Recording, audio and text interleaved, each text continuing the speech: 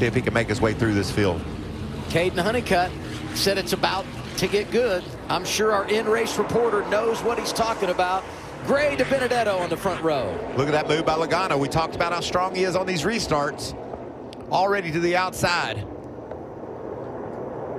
Honeycutt going with him. That's a great plan. Brett Holmes hanging well. Yeah, top three trucks, as we talked about, stayed out.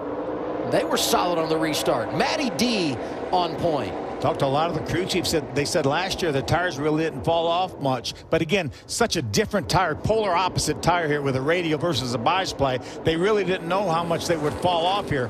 Looks like right now Matty D's saying these tires are pretty good. Yeah.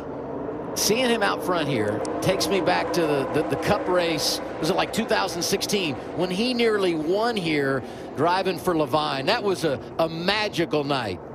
Look at this battle inside the top 10. They're three wide. Hailie Deegan hanging in there with Crafton. And then this battle up front. Give Holmes the second spot in that 32 truck. Yeah, Joey hasn't been able to dispatch with any of the three trucks that stayed out. Trying to work his way underneath Tanner Gray. He had about a half a truck width that time. And he fit a hole in there.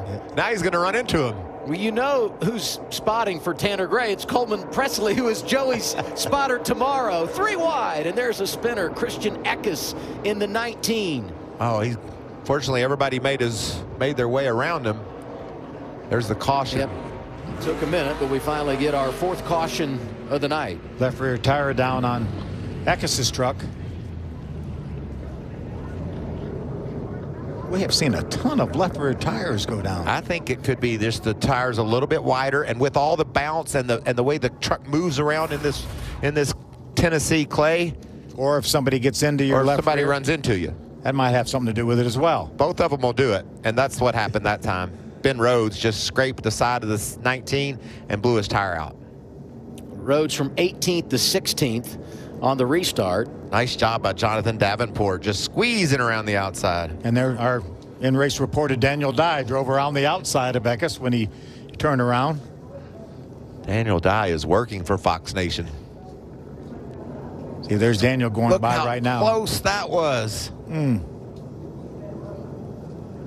This is this this is the move that started it all. And that's just short track racing. It doesn't matter if it's dirt or asphalt. You're going to have that kind of competition. Watch what Daniel Dye saw. This is going to be eye-opening, I guarantee you. Remember I said you couldn't change directions in a hurry? Whoa.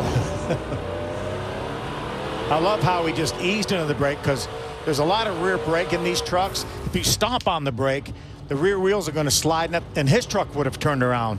He really did a nice job of modulating that brake